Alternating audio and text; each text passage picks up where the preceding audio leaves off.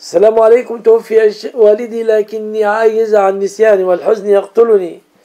والدك ليس خيرا من رسول الله عليه الصلاة والسلام. تعوذ بالله من الشيطان الرجيم وارضي بقضاء الله واحرص على النافع الذي ينفعه والاستغفار له.